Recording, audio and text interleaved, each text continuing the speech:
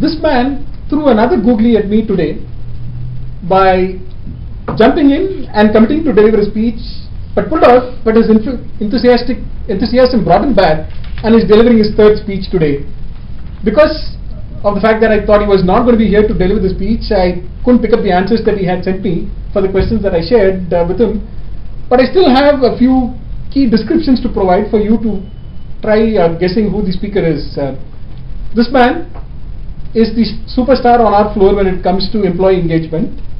Involved in the book club, the movie club, the Toastmasters club, the dramatics club, and the movie club. I think the movie the book club was a free thing because if you join four clubs, the fifth club is free. But nevertheless, uh, this guy uh, is uh, someone that you will see on the floor, active all the time. And the rumor is that uh, Shah Rukh Khan got inspiration for the title of his recently released movie from the email ID of our guy uh, who's uh, going to be delivering the speech uh, next, Ravan, Jeevan. And don't be surprised if there's a movie in the near future titled D1, which brings us to the name of our next speaker, Karthik D1, or, or as, as his parents named him, Karthik D. Um, the time limit is going to be 5 to 7 minutes. All the very best, Karthik. Thank you. Money. Thank you, Money. So I was very, very jittery coming over here, but thanks to Money, time and again, he makes me very, very comfortable coming on the stage.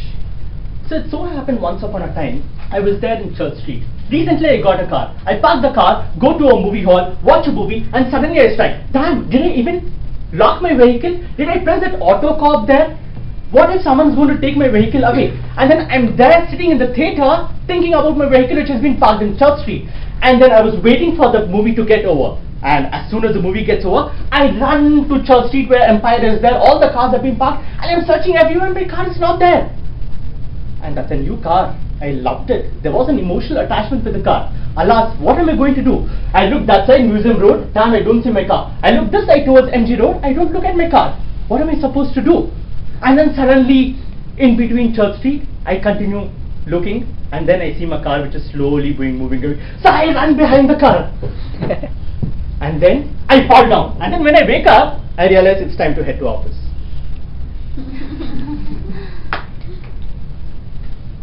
A very good afternoon, everyone. What do you think happened over the last 60 seconds? Was it 60 seconds of theatre or play which came in front of you? Or was it a session of public speaking? Dear Toastmaster, fellow Toastmasters, and guests, today my topic is to bring forward an idea which I have. Toastmasters and public speaking.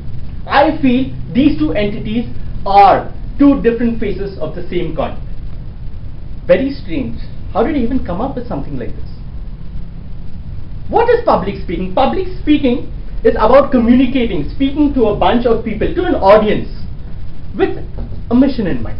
It might be just to communicate, to inform, to entertain, or to even motivate. Good public speakers, they are able to charge people's emotions. And we all know language and rhetoric are key aspects of public speaking. Now, all those people who were very intently listening to the last 30 seconds, I'm going to re-quote that. Dramatics is all about communicating with people. It can be just to inform, entertain, or influence people. Good actors can charge people's emotions. And language and rhetoric are two key important aspects of dramatics. Voila! I've told the same sentence all again, but all I changed was from public speaking to dramatics.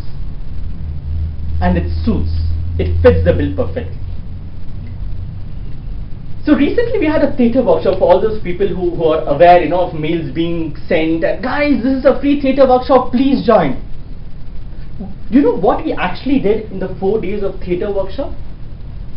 Majorly, sir, pa.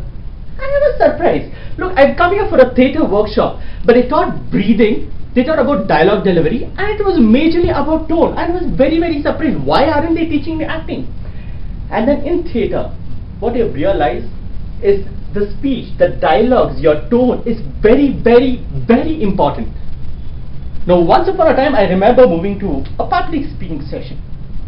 And in that particular class, what they taught was hand movement. What they taught was how exactly you move on the stage. And what they also taught was how to look at people.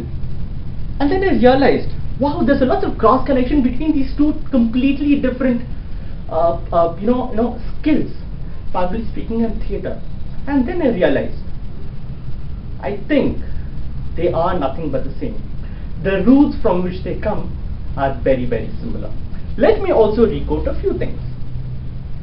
When someone is giving a presentation, when you guys are planning of coming to a session like this, what are the key things you keep in mind? What are the elements of public speaking that is in your mind? The first, I'm sure all of you is going to think about a topic. Damn, what am I going to present today? so once you decide on the topic, ah, alright, 50% of the work is done, isn't it? And then you decide on how exactly I'm going to present it. You build a story. Once you build a story, you will structure that particular story to reach to the audience, to connect to the audience. And once you do that, you will think about the dialogues. What exactly am I going to say? Which sentences am I going to say? Which words am I going to use to influence the audience? And finally, you come bang in front of the stage and you go ahead and deliver. Now, theatre is also very, very similar. We don't do rocket science. We don't do anything different from this. We think about what is the message that we are going to deliver? How exactly I'm going to tell it in the form of a story? How exactly do I structure it? What are the dialogues? And where exactly am I going to give it to them? And finally, I come right in front and deliver it to the audience with a bang. So ladies and gentlemen, just to reiterate, theatre and public speaking two different forms, two different entities is what we think. But the day you mix them, it is but a wonderful concoction and the fragrance leaves a lasting impression on the audience. My purpose today to come in front of you is to specify the passion which I have both for theatre as well as public speaking. I always make it a point to mix both and deliver it and connect with the audience. This is what I had to inform, influence, and even entertain you. Thanks for your time.